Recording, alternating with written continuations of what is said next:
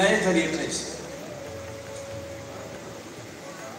ऐसा तरीका कि सबाने कभी उर्दू में उससे पहले इस तरह न लिखी गई।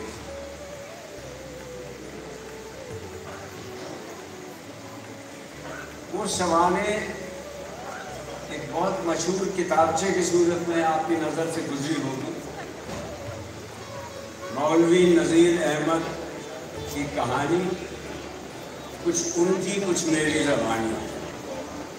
मैं उसका एक टुकड़ा आपको पेश करूँ।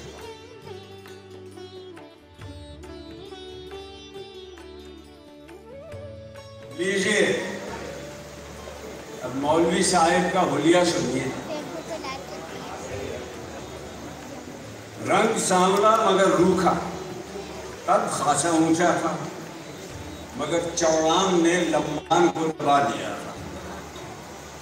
दोहरा बदन गदरा ही नहीं था, बल्कि मोटापे की तरफ़ किसी कदर मायल फरमाते थे कि बचपन में वर्जिश का शौक था। वर्जिश छोड़ देने से बदन मुर्मुरों का थैला हो जाता है। बस यही कैफियत थी।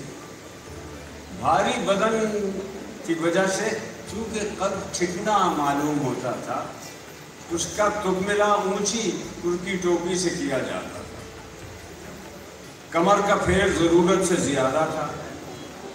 तोंद इस कदर बढ़ गई थी कि घर में इजार बंद बांधना ज़रूर बेजरूरत ही नहीं, बल्कि तकलीफ़ दे समझा जाता। तो इस कदर बढ़ गई। मैं एक गिरा को काफ़ी ख्याल कर लिया जाता था। गर्मियों में तहमद मानते तहमद क्या? तह बंद मानते थे। उसके पल्लू उड़ोसने की बजाय इधर उधर डाल लेते मगर उठते वक्त बहुत एहतियात करते थे।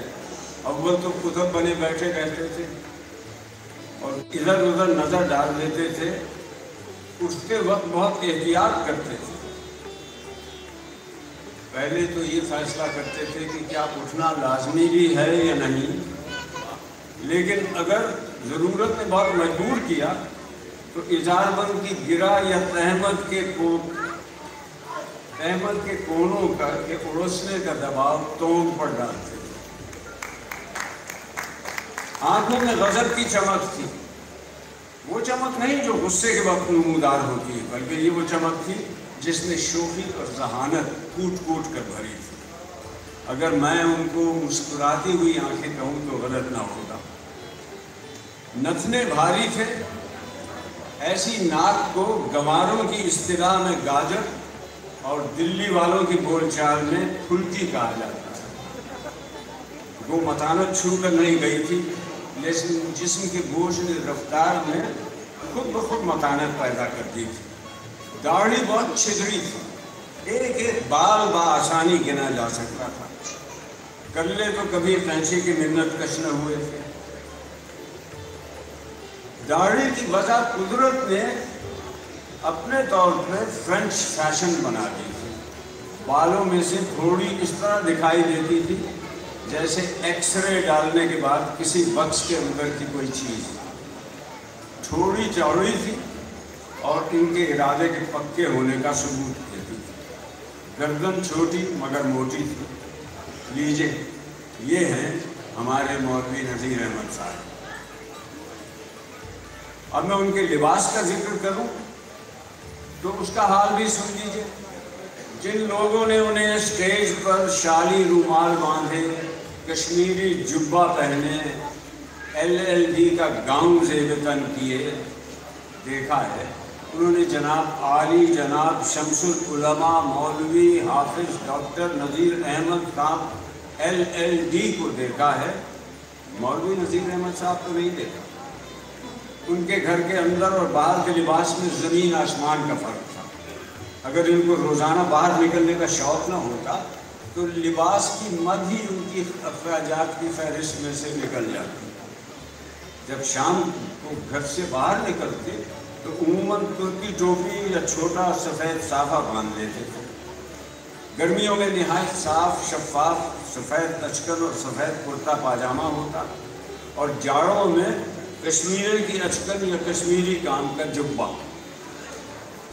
जूतों की बजाय वो काली नरी नरी का सलीम शाही जूता इस्तेमाल करते थे। फिर भी वक्त, दो वक्त के लिए दो एक अंग्रेज़ी जोड़े रख छोड़े थे, जिन पर मेरी याद में शायद 21-22 साल से पॉलिश कभी ना हुआ। दोनों जूते सूख कर फड़ंक हो गए थे। उन्हीं का पाँव था कि इन चीनियों के सख्त जूतों को बर्दाश्त करता था। जुराबों से उनको हमेशा नफरत रही। वो दरबार जाने के लिए एक दो जोड़ियाँ उनके पास रहती थी। लीजिए, ये हो गए पब्लिक के मौलवी साहब। हमारे मौलवी साहब क्या हैं? तो मैं ये तस्वीर दिखाना चाहता हूँ। अव्वल तो मौलवी साहब का लिबास, मगर घर में खुदा के फजल से उनके जिस्म पर कोई लिबास ही नहीं था, जिसका तस्करा किया जाए न कुर्ता है, न टोपी है, न पाजामा है। एक छोटी सी तहमत बराए नाम से कमर से बनी हुई नहीं, महज लिपटी हुई है। लेकिन गिरा के जंजाल से बेनियाज मौलवी साहब को हुक्के का बहुत शौक था। मगर तंबाकू ऐसा कड़वा पीते थे और उसके धुएँ की कड़वाहट इस कदर बैठने वालों के हलक में पंदा डाल देती थी। फर्श तो कीमती था, मगर चिलम दो दो पैसे वाली थी। और नैचा तो खुदा की बना इसके तैयार होने वाले लोगों की, उनकी तारीफ़, उनके दिनों से, मुद्दत से महव हो चुकी थी।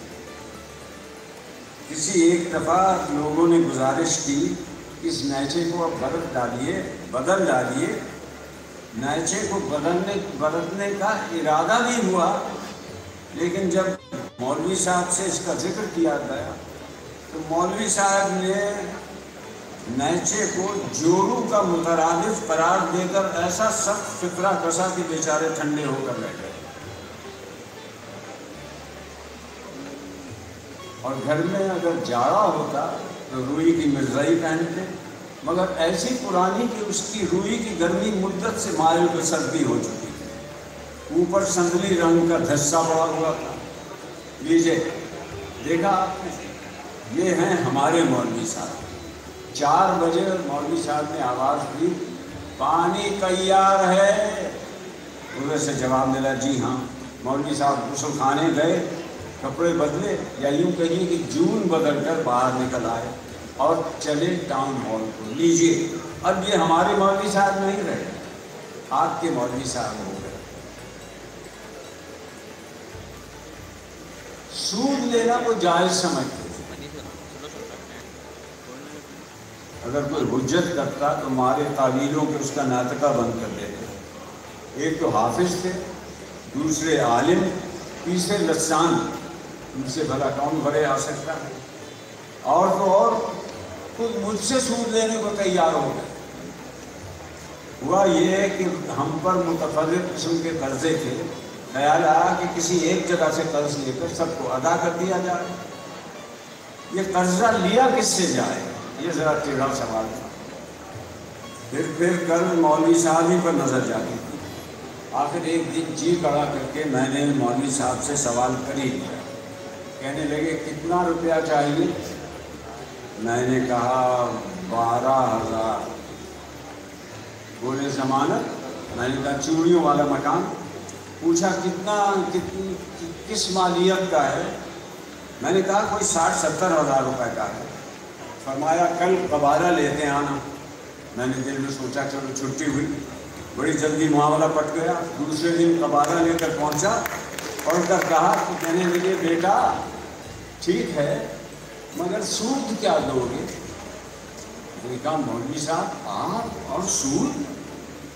कहने लगे क्यों? इसमें क्या हरज है? मैं ना दूँगा किसी साहूकार को दोगे उसको खुशी से सौदा करोगे उसके साथ। अरे मियाँ, मुझे कुछ फ़ायदा पहुंचाओगे तो दीन और दुनिया दोनों में भला होगा। जाओ बेटा घर वालों के साथ तस्वीर कराओ। कल ही चेक बंगाल बैंक के नाम लिख के देता हूँ। मैंने कहा, मौलवी साहब, लोग क्या कहेंगे कि मौलवी होकर सूद देते हैं। और वो भी अपने शागिर्दों से। कहने लगे, इसकी परवाह ना करो। जब मुझ पर कुफर का दावा लग ही चुका है तो अब मुझे मुझे किसका डर है? तुम्हारे साथ ये रियायत करता हूँ कि औरों से रुपया सैकड़ा है तुमसे चौदह आने सैकड़ा लिया करूँगा। वो तो खुदा का शुक्र है कि किसी और जगह आठ आने सैकड़ों पर फैसला हो गया और ये मामला यूँ ही रह गया।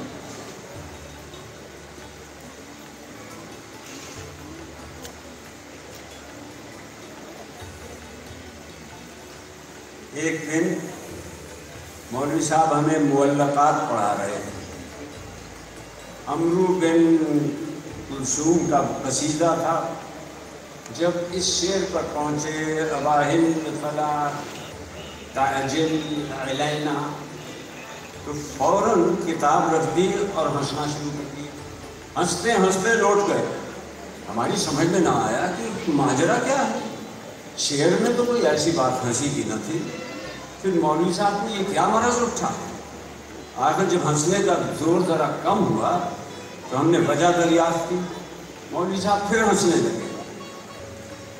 थोड़ी देर के बाद समझ कर बोले, बेटा बात शेर किस्सा तलब होते हैं। ये शेर मेरी ज़िंदगी के किस्से का आगाज़ है। अच्छा सुनाता हूँ, मगर पहले तमहीद सुन लो। हम बहुत गरीब लोग थे। न खाने को रोटी, न पहनने को कपड़ा। हमें बस तालीम का शौक़ था, इसलिए मैं फिरता फिर आता पंजाबियों के कटड़े की मस्जिद में आकर ठहर गया। यहाँ के मौलवी साहब बड़े बड़े भारी आलिम थे। उनसे पढ़ता था और तवक्ल पर गुजारा करता था। मौलवी साहिब के दो चार शागिर्द और भी थे, उन्हें भी पढ़ाते थे, हमें भी पढ़ाते। दिन, रात पढ़ने के सिवा कोई काम न था। थोड़े दिनों में मैं कलाम मजीद पढ़ने लगा। उसके बाद मैंने अदब पढ़ना शुरू किया। चार बरस में मुल्लक़ात पढ़ने लगा। वो मेरी उम्र बारह साल की थी, मगर कद छोटा होने की वजह से नौ, दस साल का लगता था। पढ़ने के अलावा मेरा काम महल्ले से रोटियाँ समेटना था। सुबह हुई और मैं छड़ी हाथ में लेकर घर घर रोटियाँ जमा करने चलता। किसी ने रात की बची हुई दाल दे दी किसी ने पीने की लुकदी रख दी किसी ने दो तीन सूखी रोटियों पर रखा दिया। गरज ये कि रंग बरंग का खाना जमा हो जाता। मस्जिद के पास ही अब्दुल खालिद साहब का मकान था। अच्छे खाते पीते आदमी थे, उनके यहाँ मेरा कदम रखना मुश्किल था। इधर मैंने दरवाजे पर कदम रखा, उधर उनकी लड़की ने टांग ली। जब तक शेर, दो से मसाला मुझसे पिसवा न लेती घर से निकलने न देती एक टुकड़ा न देती खुदा ने कहाँ से माल्य भर का मसाला ले आती और पीसते पीसते मेरे हाथों में गट्टे पड़ गए। थे जहाँ मैंने हाथ रोका, उसने बट्टा उंगलियों पर मारा कसम खुदा की जान सी निकल जाती। मैंने अपने मौलवी साहब से बहुत दफ़ा शिकायत की, मगर उन्होंने टाल दिया। खबर नहीं मुझसे क्या दुश्मनी थी? चलते चलते ये ताकीद ज़रूर किया करते थे कि बेटा अब्दुल खालिद साहब के यहाँ ज़रूर जाना।